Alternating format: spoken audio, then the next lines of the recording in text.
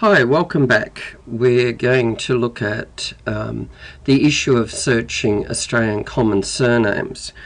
The reason for doing this is that it is a wonderful data bank of all people who are enrolled um, on the electoral roll, but it is also very useful for you when you are trying to decide on whether your your name is trademarkable and inherently adapted to distinguish.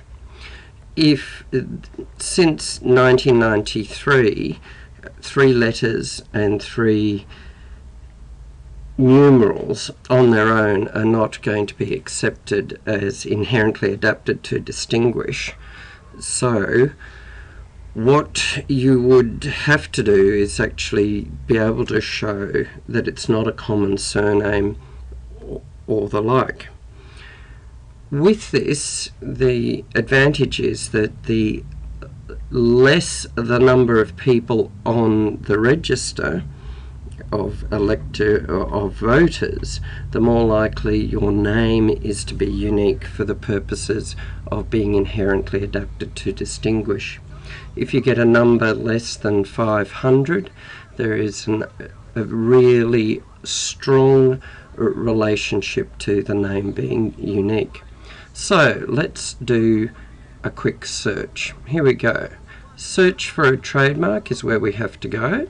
And we click on that page and then we scroll down the page until we get to the register here we are, search for Australian surnames.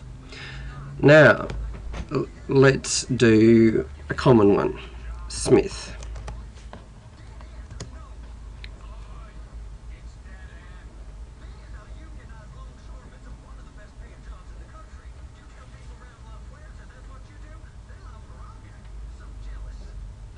It's busy thinking about it.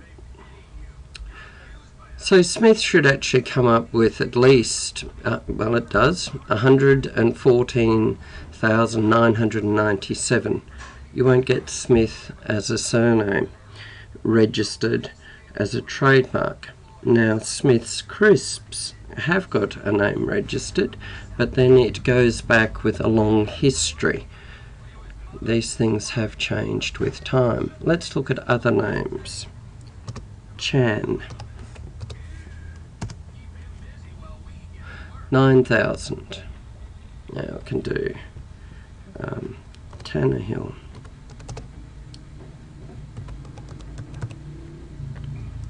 This would be a good trademark name,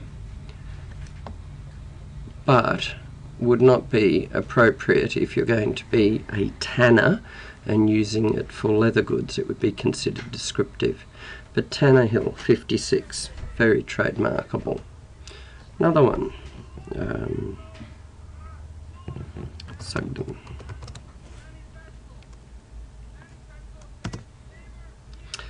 286 of us on the rolls in Australia. It would be registrable as a trademark in Australia, but it would not be in England, as there are at least at least um, three to seven thousand in the London phone book alone. It's a very common English name, but not in Australia. Now, let's look at, and this is where you can actually cyber.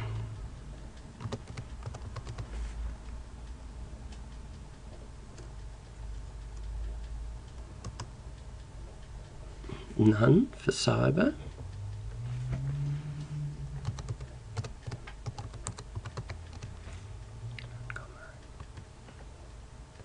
Three thousand. But this is a very good tool to use if you're going to use a word mark, even if it's an invented word. Let's see what happens with a Kodak. Oh, there are four Kodaks.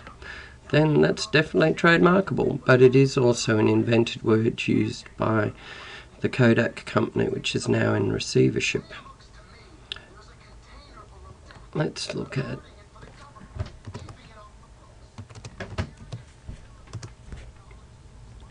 no one with the name Chanel. So what I'm actually doing here is just asking or showing you that you can search this for the purposes of working out whether your trademark name that you propose is going to be registrable as a trademark. So remember to use this with any word mark that you're going to use because you may be surprised at what surnames do appear that are actually quite common even though you think it might be an invented word. So this is really publicly available site that you can search to add value to your trademark research. Okay, that's where we'll end this demonstration. Thanks. Bye.